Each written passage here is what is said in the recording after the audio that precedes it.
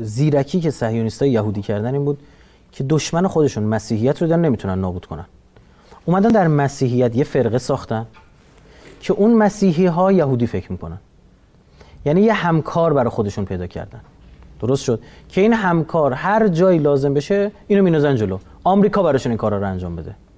من یه فقط یه مروری کنم در مورد رئیس جمهور آمریکا.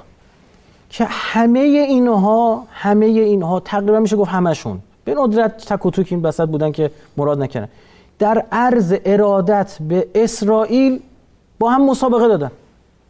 ببینید من هاردینگ 1922 کلوین کولک 1924 هربرت هوفه 1928 فرانکلین روزولت بعدش ترومن. اصلا عبارت هایی از اینا نقل شده.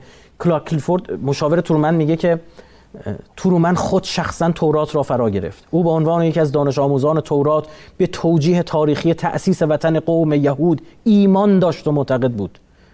این مختص به ترامپ نیست. من بابت تک تک رئیس جمهورهای آمریکا تقریبا می‌تونم بگم متنای خودشون آماده کردم. یعنی من وقت نیستش. ببینید مسئولین امریکایی از رئیس جمهور رئیس کنگره چقدر اینا در خدمت به رژیم صهیونیستی؟ و کوچ یهودیان به اونجا و حمایت از اسرائیلی ها اینا پیشگامن. اصلا دموکرات جمهوری خواه داره عوض میشینه دارن با هم خب مسابقه چطور میشه؟ پس مردم یه بار به دموکرات رای میدن یه بار به برای اینکه اینا دارن با هم مسابقه میدن. اما یه تفاوتی هم اینجا هستش که جمهوری خواه ها جمهوری خواه ها و دموکراتی تفاوتی یعنی دموکرات ها به جهان وطنی صهیونیسم جهانی بیشتر خدمت می‌کنن. خب جمهوری خواه ها به خود موجودیت فلسطین اشغالی. تفاوت نگاه اینا اختلاف, نظر، اختلاف نظره. اینا یه نگاه جهان وطنی دارن که عرض کردم باید حالا قدرت از امریکا به چین انتقال پیدا کنه. خب دارن الان مستندا فیلم ها ذهنا هم دارن آماده می‌کنن. شما میره از این طرف هم چین داره قدرت می‌گیره. اوباما هم در خدمت همین سیاست بوده. معاهده پاریس رو امضا می‌کنن. می‌بینید؟ بعد خدمت شما عرض کنم کارخونه رو انتقال میدن به چین.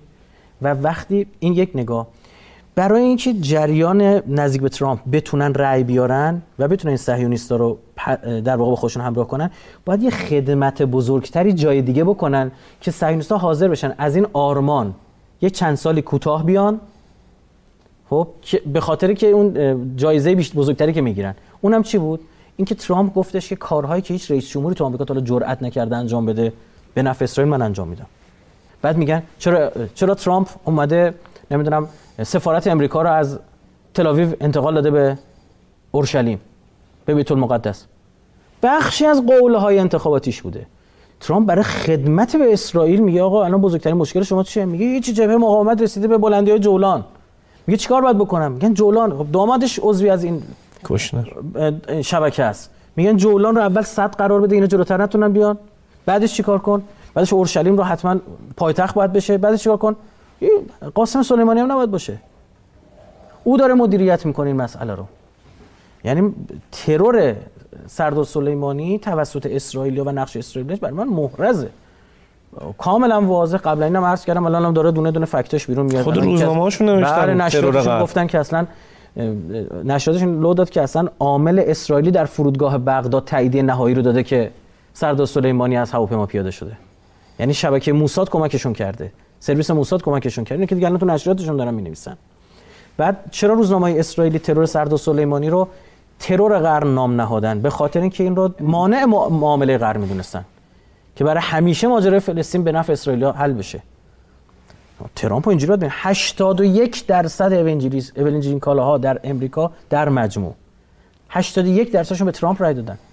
یعنی عملا مغز تصمیم گیری ایالات متحده امریکا تو سیاست خارجی دست ایناست